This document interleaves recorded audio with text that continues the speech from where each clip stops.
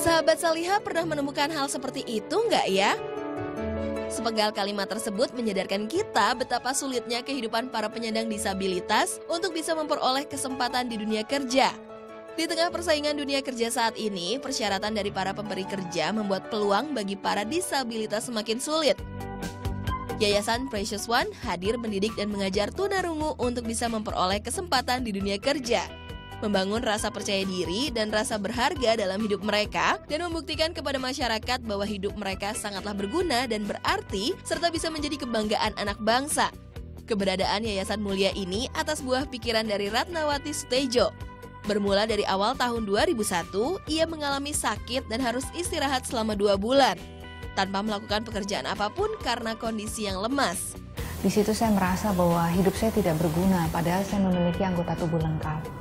Lalu timbul pemikiran bagaimana dengan teman-teman yang terlahir memiliki anggota lengkap juga tapi tidak bisa dipakai. Waktu itu kita menyebutnya masih dengan sebutan sebagai mereka yang cacat, tapi sekarang kita sudah tidak boleh menyebutnya itu dan akhirnya timbul sebuah pemikiran bagaimana sulitnya pasti hidup mereka. Dan saya berjanji ketika saya sembuh nanti saya ingin mulai terjun di dunia orang-orang berkebutuhan khusus. Tentunya ini menjadi sebuah awal yang sulit karena saya memang tidak punya background sama sekali tentang dunia disabilitas. Jadi bermula dari situlah saya mengenal tentang dunia disabilitas dan bergaul dengan mereka. Langkah pertama yang dilakukan Ratna waktu itu adalah belajar bahasa isyarat. Sampai akhirnya ia pun bertemu dengan orang tunarungu yang menceritakan betapa sulitnya untuk bekerja atau mencari pekerjaan. Akhirnya, orang tunarungu yang dilatih oleh Precious One untuk menghasilkan karya yang bisa diterima oleh masyarakat.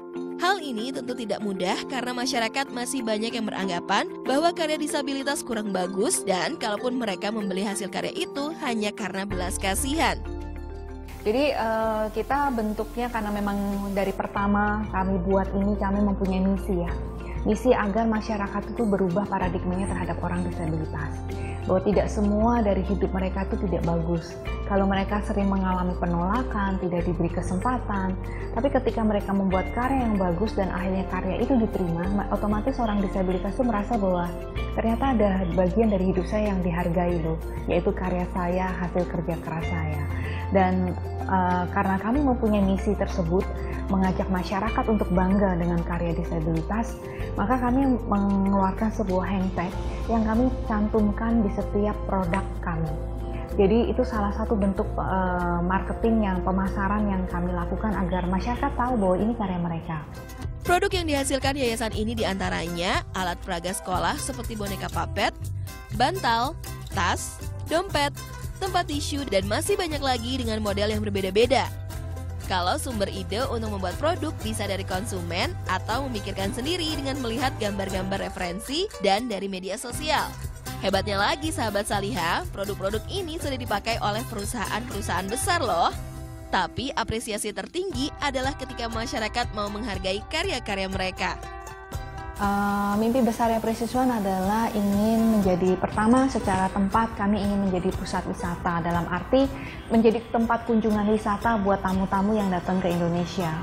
Uh, kenapa? Karena ketika mereka datang, uh, masyarakat bisa langsung membeli produk, memberikan memberi souvenir dan juga melihat semangat hidup dari teman-teman yang berkebutuhan khusus ini. Mereka bisa berinteraksi langsung dan berkomunikasi langsung. Yang kedua, kami juga ingin menjadi brand uh, Precious One menjadi brand untuk uh, produk disabilitas yang terbaik. Dan saat ini kami sudah mulai bekerja sama dengan orang-orang disabilitas di berbagai daerah. Mimpinya nanti seluruh Indonesia kita mau cari orang-orang disabilitas yang punya karya yang keren, tentunya lewat standar yang kami sudah tetapkan untuk bisa berkolaborasi dengan Precious One. Precious Product from Precious People. Luar biasa ya sahabat Saliha apa yang dikerjakan oleh Yayasan Precious One ini. Semoga bisa menginspirasi kita semua untuk terus semangat hidup, berkarya dan menghargai siapa pun tanpa memandang bulu.